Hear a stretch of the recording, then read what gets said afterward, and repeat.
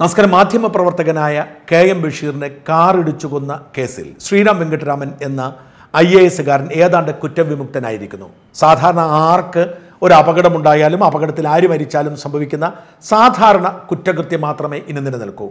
മുന്നൂറ്റി നാല് എ. അതനുസരിച്ച് കുറ്റം തെളിഞ്ഞാൽ പോലും പരമാവധി ശിക്ഷിക്കാൻ കഴിയുന്നത് രണ്ടു വർഷമാണ്. അത് പ്രയാസമാണ് തെളിയിക്കാൻ. സ്വാഭാവികം അപകടമാണ് എന്ന് തെളിയിച്ചാൽ ആ ശിക്ഷ കിട്ടില്ല. വളരെ കുറച്ചുപേരെ മാത്രമേ ഈ നിയമം അനുസരിച്ച് ശിക്ഷിക്കാറുള്ളൂ. എന്ന് മാത്രമല്ല താഴത്തെ കോടതി ശിക്ഷിച്ചാൽ അപ്പീൽ വ്യവസ്ഥകളോട് മുമ്പോട്ട് പോയാൽ ശ്രീറാം വെങ്കട്ടരാമൻ റിട്ടയർ ചെയ്ത് ഏതാണ്ട് ജീവിതകാലാവധി അവസാനിക്കുന്നത് വരെ നീട്ടിക്കൊണ്ടു പോകാനും സാധിക്കും. ചുരുക്കി പറഞ്ഞാൽ ശ്രീറാം വെങ്കട്ടരാമൻ ഏതാണ്ട് കുറ്റവിമുക്തനായിരിക്കുന്നു. ശ്രീറാം വെങ്കട്ടരാമനെ ഒന്നും ചെയ്യില്ലെന്നും പത്രക്കാരെ പിണറായി വിജയൻ പറ്റിക്കുകയാണെന്നും ഞാൻ അന്നേ പറഞ്ഞിരുന്നു.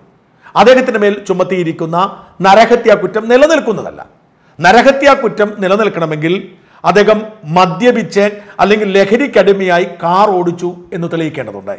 അദ്ദേഹം അതിന് വിസമ്മതിച്ചു. അതിനെ പോലീസും ആരോഗ്യ സംവിധാനവും കൂട്ടുനിന്നു. അദ്ദേഹം ദിവസങ്ങളോളം ആശുപത്രിയിൽ കിടന്ന് തന്റെ ശരീരത്തിലെ ലഹരിയുടെ അംശം ഒഴിവാക്കി. ഇത് തടയാൻ കേരളത്തിലെ പത്രക്കാർക്ക് സാധിച്ചില്ല. ഒരു ദിവസം പോലും അദ്ദേഹം ജയിലിൽ പോയില്ല. ജയിലിൽ അടയ്ക്കാൻ പറഞ്ഞിട്ടും അവസാന നിമിഷം അദ്ദേഹം ആശുപത്രിയിലേക്ക് മാറി. ആ നീക്കം വിജയിച്ചു. അതിന്റെ തുടർച്ചയായി ചെറിയ കാലയളവിന് ശേഷം അദ്ദേഹം സസ്പെൻഷൻ പിൻവലിച്ച് സുപ്രധാനമായ തസ്തികയിലേക്ക് നിയമിക്കപ്പെട്ടു. ആദ്യം അദ്ദേഹത്തെ നിയമിച്ചത് ആരോഗ്യ വകുപ്പിലെ ജോയിന്റ് സെക്രട്ടറിയായ അദ്ദേഹത്തിന് നിഷേധിക്കപ്പെട്ട പ്രൊമോഷനൊക്കെ കൊടുത്ത് ജോയിന്റ് സെക്രട്ടറിയാക്കി ഇത് മാത്രമല്ല മെഡിക്കൽ സർവീസസ് കോർപ്പറേഷനെ എം ഡിയുമാക്കി ഒടുവിൽ അദ്ദേഹത്തെ കളക്ടറാക്കി മുസ്ലിം സംഘടനകൾ എതിർത്തത് കൊണ്ട് മാത്രം അതിൽ തിരുത്തലുണ്ടാക്കി. പക്ഷേ പുതിയ പ്രൊമോഷനോടുകൂടിയാണ് എറണാകുളത്തേക്ക് ഭാര്യയ്ക്കൊപ്പം താമസിക്കാൻ സൗകര്യമൊരുക്കി കൊടുത്തത്. എന്തുകൊണ്ടായിരിക്കും?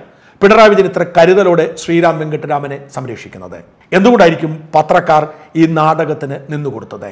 ഇത് വളരെ പ്രധാനപ്പെട്ട ഒരു ചോദ്യമാണ്. സനോജ് തെക്കേക്കര എന്ന ഒരു ചെറുപ്പക്കാരന്റെ സോഷ്യൽ മീഡിയയിൽ ഇടയ്ക്കിടെ ഇടപെടുന്ന സനോജിന്റെ ഒരു ചെറിയൊരു പോസ്റ്റ് ആദ്യം വായിക്കാം. മാധ്യമ പ്രവർത്തകരോടാണ് സസ്പെൻഷന് ശേഷം കോവിഡ് കാലത്ത് തിരികെ എത്തിയത് ആരോഗ്യവകുപ്പിൽ. കുറച്ചു കാലത്തിനുള്ളിൽ വിവാദ പർച്ചേസുകൾ നടത്തിയ മെഡിക്കൽ സർവീസസ് കോർപ്പറേഷൻ എം ഇതിനു മുൻപ് നിരവധി വർഷങ്ങൾ പ്രശംസനീയമായ രീതിയിൽ പ്രവർത്തിച്ച അന്നത്തെ ആരോഗ്യമന്ത്രി തന്നെ പറയുന്നു ഞാനല്ല ഉന്നതതല ചർച്ചകളിൽ തീരുമാനമനുസരിച്ചാണ് പർച്ചേസുകൾ നടന്നതെന്ന്. പിന്നെ ഇന്ന് വന്ന കോടതി വിധി. എല്ലാം കൃത്യം.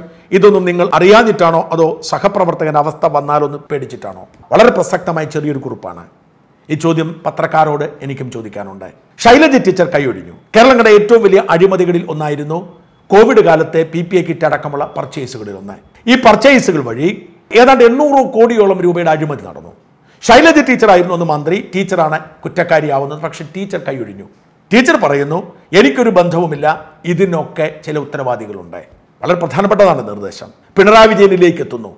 സർക്കാർ അറിഞ്ഞാണ് ചെയ്തത് എന്നെത്തുന്നു ഈ കേസ് മുമ്പോട്ട് പോയാൽ ഇപ്പോൾ വീണ നായർ കേസ് കൊടുത്തിട്ടുണ്ട് ലോകായുക്തിൽ. ഈ കേസ് മുമ്പോട്ട് പോയാൽ സ്വാഭാവികമായും പിണറായി വിജയൻ മറ്റൊരു കേസിൽ കൂടി പ്രതിയാകും. ഈ സാഹചര്യമാണ് നമ്മൾ പരിഗണിക്കേണ്ടത്.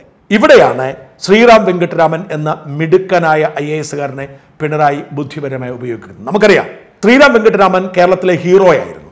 ദേവികുളം സബ് കളക്ടറായി ജോലിയെടുത്തപ്പോൾ അദ്ദേഹം ഭൂമാഫിയക്കെതിരെ ശക്തമായ നിലപാടെടുത്തു. അദ്ദേഹത്തിന്റെ നിലപാട് കുഴപ്പമുണ്ടാക്കിയത് എം എം മണിയും അദ്ദേഹത്തിന്റെ സഹോദരനും അടക്കമുള്ളവരെയാണ്. അങ്ങനെ വിഘടിച്ച് നിന്നതിനിടയിലാണ് ഈ കെ ബഷീറിന്റെ അപകടമുണ്ടാവുന്നത്. അതോടെ മുമ്പോട്ട് പോകാൻ പിണറായി വിജയന്റെ കാലിൽ ചെന്ന് വീഴുന്നു. പിണറായിക്ക് ബുദ്ധിമാനായ കഴിവിറ്റ ഒരു അടിമയെ കിട്ടിയാൽ ഇഷ്ടമാണ് അങ്ങനെ പിണറായി തന്റെ കച്ചവടങ്ങൾ പൊലിപ്പിക്കുന്നതിന് വേണ്ടി ശ്രീരാമനെ രക്ഷിച്ചെടുക്കാൻ തീരുമാനിക്കുകയായിരുന്നു. അതുകൊണ്ടാണ് ശ്രീരാം രക്ഷപ്പെട്ടതും ഇപ്പോൾ ഒരു ദിവസം പോലും ജയിലിൽ കിടക്കാത്ത വിധം ഈ കേസ് ഇങ്ങനെയായതും ശ്രീരാമിന് ഉന്നത പദവി കൊടുത്തതും. മാത്രമല്ല ഈ അഴിമതി കേസിൽ നിന്നും പിണറായി തലയൂരാൻ ശ്രീരാമന്റെ ബുദ്ധിയും തന്ത്രവും ഉപയോഗിക്കുകയും ചെയ്യും. ഇത് പത്രക്കാർക്ക് അറിയാത്തത് കൊണ്ടല്ല ബോധപൂർവം അവർ ഒഴിവാക്കുന്നതാണ്. കാരണം അവർക്ക് പിണറായിയെ പേടിയാണ്.